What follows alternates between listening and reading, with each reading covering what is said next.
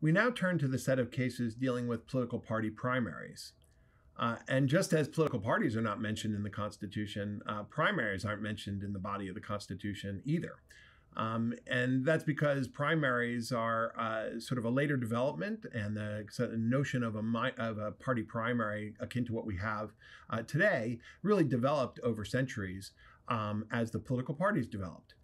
And so, uh, one of the challenges, as mentioned in the first discussion about uh, political parties, is to think about uh, whether the political parties are uh, private associations or state actors. And so, this lecture uh, deals specifically with the cases which grappled with that problem, dealing with um, the deprivation of the right to vote of African Americans in Texas uh, to have a say in the Democratic Party uh, primaries there, the so called white primary cases. And so before we jump into those particular uh, cases, let's let me just say a few things about party primaries that'll be applicable both to this, this lecture and the next one. A party primary can often be the, the dispositive election uh, for a particular congressional district or state. In a, party primary's power significance is often a function of how much political competition there is in a state or a district. So, for example, if you live in a district that is 80% Democrats,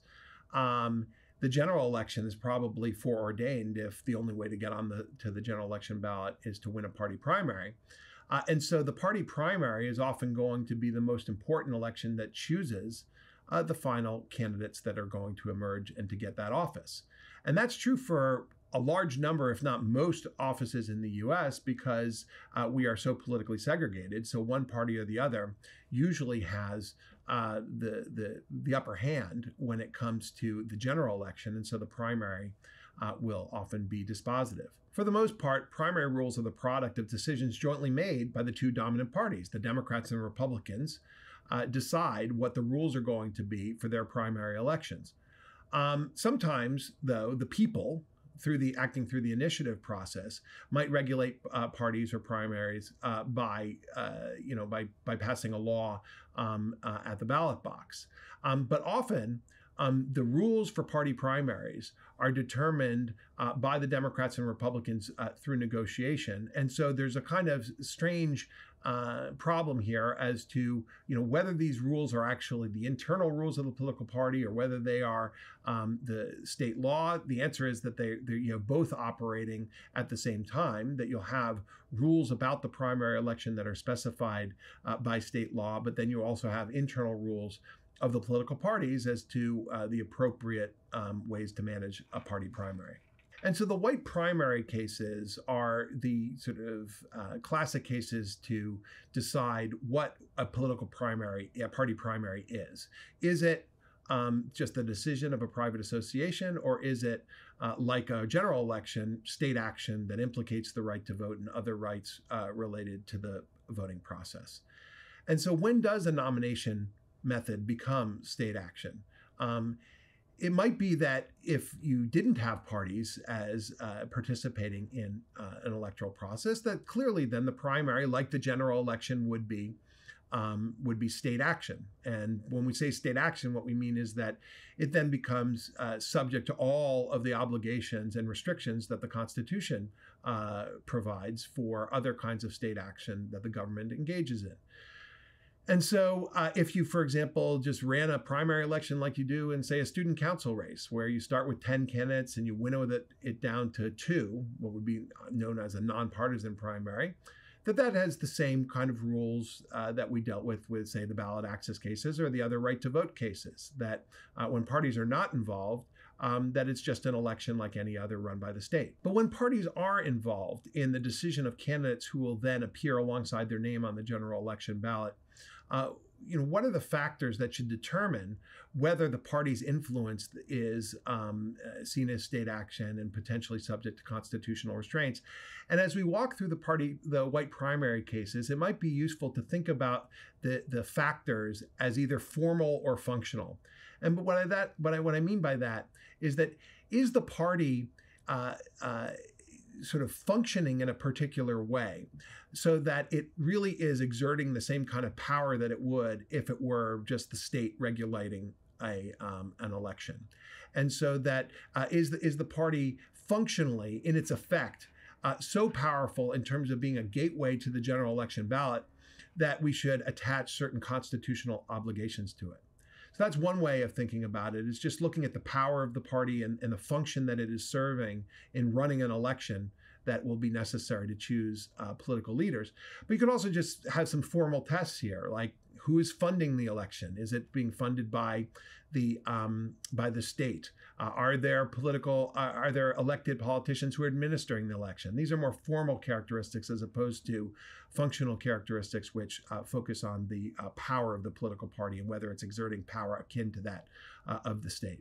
The white primary cases are uh, either 14th or 15th Amendment cases. And the question here is whether racial discrimination in the primary election is uh, constitutional or not. And so the rights that are implicated either are um, uh, lodged under the Equal Protection Clause of the 14th Amendment or under the 15th Amendment's prohibition on racial discrimination with respect to the right to vote. And so, as we go through the cases, the court sometimes strikes it down under the 14th Amendment, either under the suspect, usually under the suspect classification prong of the 14th Amendment, saying that racial discrimination violates the Equal Protection Clause. But in other cases, it's going to uh, strike it down under the 15th Amendment, saying that the right to vote uh, has been deprived here on the basis of race. And while that might seem like a kind of subtle distinction, you know, these days, almost anything that would violate the 15th Amendment would also uh, violate the 14th Amendment the, the, the, the decision to go with either the 14th Amendment's Equal Protection Clause or the 15th Amendment's prohibition on racial discrimination with respect to the right to vote hinges on whether you think the right to vote, as prescribed in the 15th Amendment, is implicated by a primary election. Because if it is merely racial discrimination, not implicating the right to vote, then the Equal Protection Clause might be uh, what you would use. But if you agree that this is actually a deprivation of the voting rights that are uh, envisioned by the 15th Amendment, then uh, you could then the court sometimes will go with the 15th Amendment as the reason for striking it down. And at the risk of fast forwarding to the end here, I want to just uh, tee up a question that should be in your mind as we think about the white primary cases, which is sort of what are the implications of these now sort of old cases for the way we think about political primaries today. Uh, do they stand for the proposition that political parties are state actors and that primaries are state action in all of their incarnations? Or is it sort of, are these sort of a unique set of cases dealing with the conditions um, that African Americans were facing in Texas um, in the middle of the century of the 20th century? Um, because it might be that the court was sort of engaging in a little bit of rough justice here in order to try to prevent the Texas Democratic Party from uh, depriving African Americans of the right to vote. Uh, but that the same rules might not apply to, um, say, the minor parties today or to even the Democrats and Republicans, where you might not think that in all of the various things that they do, that uh, the constitutional requirements for primary elections would apply to them. The way primary cases uh, read almost like a series of law school hypotheticals um, because through six cases that went up to the Supreme Court, the court dealt with all the different strategies that the Dixiecrats in Texas had adopted in order to try to immunize their primary election from the basic requirements of the 14th and 15th Amendment. And so uh, the cases start with Nixon versus Herndon in 1927. In that case, there was a specific statute on the books in Texas which deprived African Americans of the right to vote in the Democratic primary. And the court struck that down under the 14th Amendment because, in the teeth of the law, the law actually had a racist classification that was built into it, just as it would be unconstitutional to specifically say that blacks and whites have to go to different schools.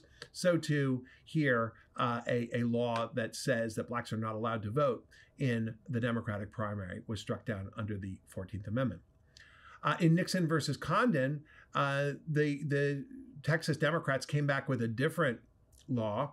Instead of having sort of the racism right in the teeth of the law, right, sort of specifically phrased, they said that um, each state executive committee of a party will then be able to determine the qualifications of uh, for voters who can vote in that primary, and so uh, it didn't. Uh, it sort of was one step removed from the kind of statute that was in Nixon versus Herndon, and um, delegated that power to the state executive committee, which then um, basically came up with rules that deprived African Americans of the right to vote.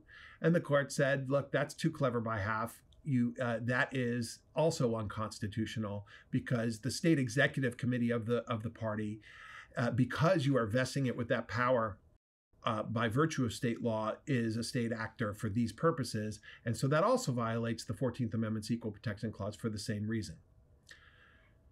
So, not uh, uh, deterred by these Supreme Court cases, the Texas Democratic Party came back again. And this time um, they delegated uh, in, in, the, in the statute, the statute said that the state party conventions will have the power to set qualifications for who can vote in political party primaries. And here in Grovey versus Townsend in 1935, the Supreme Court upheld uh, that power of the state party convention to discriminate against African Americans with respect to voting in a party primary. And so you might ask the question what's the difference between, say, an executive committee or a party convention? And and and here I, I, think the court was trying to get at really the, the critical issue in all of these cases, which is at some point, um, the political party is behaving more like a private association and is more the rights of its members as opposed to um, being an agent of the state like it was when it delegated the power to the executive committee. Now, you might think that that's kind of a, um, uh, you know, a, a, a, slender reed on which to hang this kind of constitutional distinction. But uh, for the court, there was, uh, you know, there had to be some place on the slippery slope where they wanted to dig in their heels. And so the difference between the state executive committee, which was seen as a state actor in Nixon versus Condon, and the state party convention in Grovey versus Townsend was a way of making that uh, distinction. Now, one of the interesting things about the white primary cases is that in the middle of them, right after Grovey versus Townsend, other cases uh, came through uh, and reached the Supreme Court that dealt with the question of whether pri- voting in a primary uh, implicated the right to vote. And so there was this interesting case called U.S. versus Classic in 1941, in which eh, the, the it's not a d- discrimination case. It's not even really um, you know a primary access case, but it was a question as to whether ballot box stuffing in a primary election uh, implicated the right to vote. And the court there said in a, in a criminal prosecution, yes, that does implicate the right to vote. Now you might say, well, what? Why is that relevant to the question of whether the Texas Dixiecrats are state actors or not? And the answer came uh, three years later in this case called Smith versus Allwright, where the same law that was upheld in Grovey versus Townsend, the delegation to the state party convention to set the qualifications for primary voters, that was now struck down. And, and the court said that this intervening case of U.S. versus Classic was uh, the reason. And so, why would that primary ballot box stuffing case um, uh, change the, the landscape? And the court said that basically, um, because we have decided that the right to vote is implicated um, by a primary election in which ballot box stuffing is is depriving people of their voting rights, we've now made a decision that um, the, all the trappings of something like the 15th Amendment, which says that the right to vote can't be denied because uh, on, on grounds of race, um, that that then is triggered in the context of a primary election. So the delegation to the state party convention to determine uh, the qualifications for voting in a primary that implicates the right to vote under the 15th Amendment. And so, therefore, um, uh, we are going to say that this the delegation, which we previously upheld against constitutional challenge, is now unconstitutional under the 15th Amendment because when the state party convention deprives African Americans of the right to vote in the primary, um, it violates their right to vote on grounds of race, uh, and that's a protection of the 15th Amendment. And so, not to be undone, this, the Dixiecrats in Texas came back again, and they um, started holding or at least factions of the party started holding kind of pre-primary elections. You think of this as like um, little meetings in garages and, and around the state. Uh, and there were two factions in the party, the Jaybirds and the Woodpeckers. And so the question here is whether these private meetings or seemingly private meetings that that nominated candidates who would then be the, the Democrat on the Democratic ballot, uh, the primary ballot, um, is that state action? And that, you know, that, that raises really difficult questions because at, at, there has to be a point at which five people meeting in their living room, it's not state action.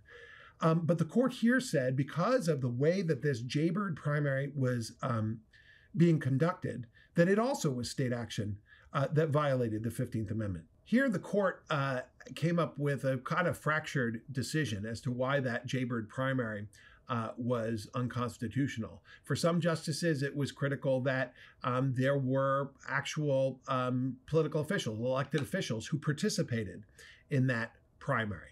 For other justices, it made a difference that the function of this primary was to essentially determine who the Democratic nominee was going to be. Again, that's more functional as opposed to a formal uh, uh, way of deciding what the whether the primary was state action. Um, but in the end, even those pre-primary meetings were decided uh, determined to be state action that implicated the Fifteenth Amendment, and so the court struck it down. And so, from all of these uh, cases dealing with party primaries, we come up with a kind of set of factors uh, as to whether a primary election is state action. It's hard to say what you know which ones are dispositive and which ones are just sort of weighing in favor of um, state action. Clearly, as Nixon versus Condon made clear, a state law that specifically has um, uh, racial discrimination uh, it, it mandated in the party primary, that is classic uh, state action.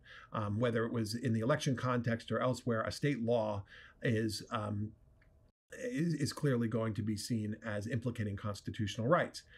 And then later, the delegation of responsibility to a seemingly private actor like a party committee or a party convention, that also is going to uh, implicate state action. And so if there's a formal requirement in the law that a particular actor on the outside is going to um, determine uh, qualifications, even that is going to uh, implicate um, um, the 15th and 14th Amendments. Um, but then when we move from sort of state law or explicit state delegations, we get into sort of more iffy factors uh, as to uh, what determines whether a party primary is state action. Um, in Smith versus Allwright, some of the justices, the, the court says uh, that that state control of the primary process is enough to uh, determine that it is uh, state action.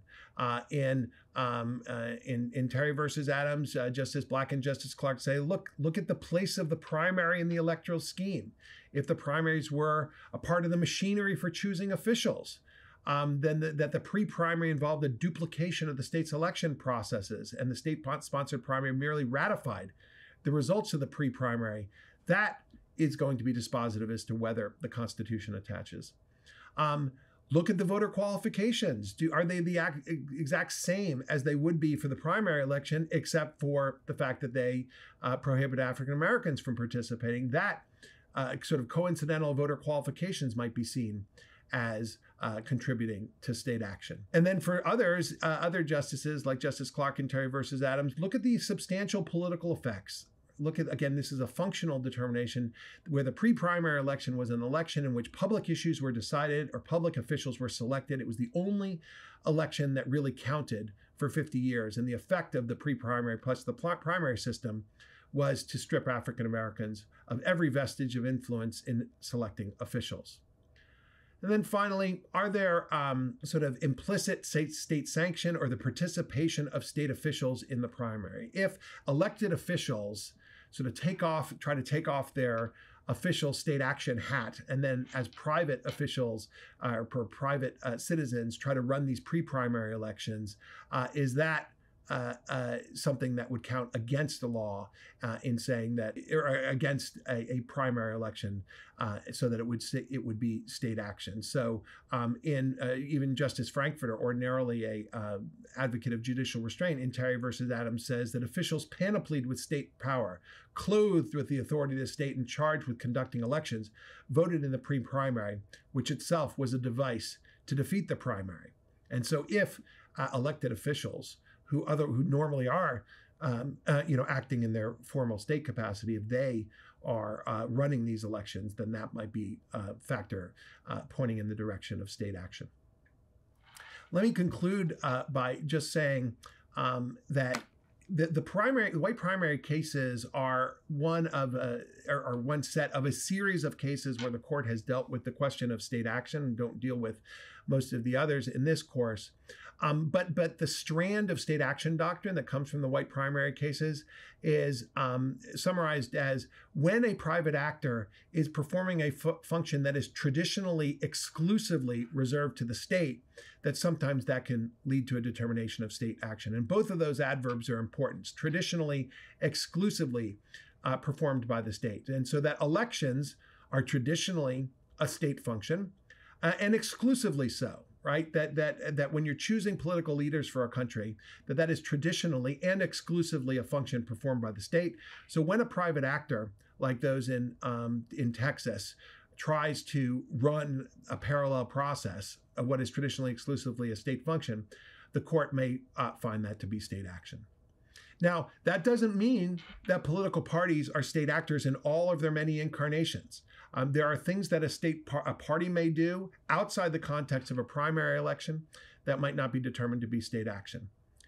Also, you know, the, the unique circumstances of the Texas Democratic Party in the 1940s, 50s, uh, and earlier, uh, you know, we don't know whether those same rules would apply uh, to parties today, whether the, the Democrats and Republicans today or the uh, uh, minor parties. So, for example, could you start a feminist party that uh, excludes men? Could the, there be a Black Panther party that excludes whites? Um, minor parties might not have the same power as the major parties in determining uh, and, affecting the outcome of elections. So, should they, as more like interest groups, have um, greater First Amendment rights to determine um, the processes that they're going to uh, apply. I should say, uh, in um, a much later case, the court did determine that uh, the party primary in Virginia, in a case called uh, Morse versus Republican Party of Virginia, was uh, state action that implicated the Voting Rights Act. So we do have some uh, more recent cases where the white primary cases are deemed to be relevant. Um, but these other questions about in what context is a party um, a state actor and are all parties considered state actors, no matter how small they are, really hasn't been uh, answered. Now, just as one concluding note and as a transition to the next lecture, just because we say that a party primary might be state action in the context uh, of, of the sort of Dixiecrat, Dixiecrat disenfranchisement of African Americans uh, in Texas, doesn't mean that everybody has the right to vote in every party's primary. And so there was a district court case called Nader versus Schaffer, in which um, uh, plaintiffs said, Look, I'm not a member of the Democratic or Republican Party, but I think I have a right to vote in those party primaries. And they cited the white primary cases. And the argument was that, look, the uh, where I live, uh, the Democrat or Republican Party primaries are the dispositive primaries in order to choose election officials. And I, as a voter, have a constitutional right to vote in a primary, in any election in which that, that is going to be dispositive and functionally determine who the elected leaders are going to be from my uh, from my particular location. And the court rejected that, and it's not a hard case uh, for us to sort of um, grapple with, or for the court to grapple with, but it did raise some important questions about the reach of the white primary cases. Um, and it distinguishes and, and sort of forces us to ask whether the kind of qual what kind of qualifications can a party impose for uh, voters that are going to vote in, in, its primary. If you can if you're not allowed to exclude people on the basis of race why can you exclude people on the basis of party? Now you might say well of course that's what a primary does. It's about uh, limiting itself to uh, the particular members of the primary so that then they could have their leader be on the general election ballot but if primaries were seen as state action, for the same reason that you can't discriminate against Republicans and Democrats in other areas of life. So, for example, there's a whole series of patronage cases in which uh, you can't hire or fire certain officials because of their political party affiliation. Um, for the for the same reason that in those cases state action might be seen as violating First Amendment rights, so to here you could say that um, preventing, uh, say, an independent voter from voting in a Democratic Party primary could be seen as violating their either uh, First Amendment rights or their right to vote. But as we'll see in the next set of uh, cases, uh, that's not where the court has has gone. In fact. If anything, the court has uh, protected the rights of political parties to determine, uh, outside of the context of race, who's allowed to vote in their party primary elections.